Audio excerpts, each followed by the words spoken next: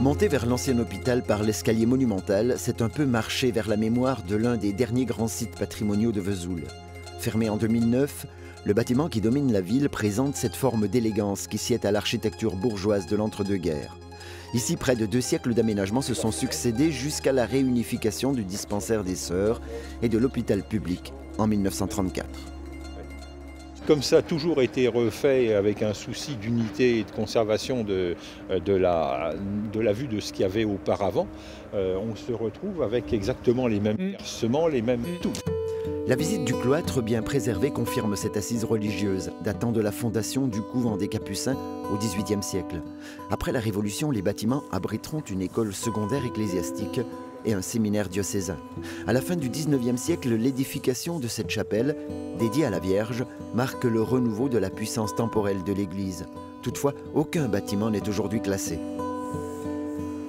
C'est en raison de son histoire qui est assez chahutée, qui est faite de construction, reconstruction, euh, agrandissement euh, successifs. Euh, bien qu'il y ait beaucoup de parties hein, de ce bâtiment qui soient d'une construction tout à fait intéressante hein, du point de vue artistique. Euh, mais euh, n'ont été euh, classés comme monuments historiques que des objets ou des immeubles par destination, boiseries, huisseries, quelques meubles, etc. Des lambris, des boiseries, une atmosphère douce et sereine malgré la poussière. Nous sommes ici dans l'ancienne pharmacie que devront respecter les travaux de réaménagement du site. Les sœurs soignaient les âmes et les chirurgiens réparaient les corps. Donc c'est un endroit avec beaucoup de spiritualité, d'humanité.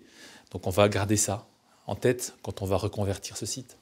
Alors bien entendu, aujourd'hui, la question se pose de l'avenir de ce site. Que va-t-on faire de cet ensemble de bâtiments et notamment de cette chapelle que l'on vient de visiter? Salle de concert, salle d'exposition, tout est ouvert. Un avenir qui se construit déjà sur le coteau du vieil hôpital, avec des réalisations de grands standings. Mais pour les 12 000 mètres carrés de l'ancien bâtiment, le poids du passé marquera forcément les éventuels projets de réhabilitation. Nous sommes simplement les garants de cette histoire du site et de l'harmonie de ce site, parce qu'au fil des siècles, les architectes ont réussi à faire de cet ensemble un ensemble harmonieux, équilibré, cohérent. Et il faut qu'on garde ça. En même temps, il faut qu'on se transporte vers l'avenir avec des idées nouvelles, avec un bâtiment peut-être partagé entre plusieurs activités, du logement, de l'activité de service. On va voir ce qu'on peut en faire. À ce jour, quelques dossiers sont parvenus à la mairie de Vesoul, notamment après l'opération de mise en vente du site pour l'euro symbolique. Mais rien encore ne transpire sur la tenue et la rigueur des projets, dont quelques-uns, jugés fantaisistes, ont été écartés.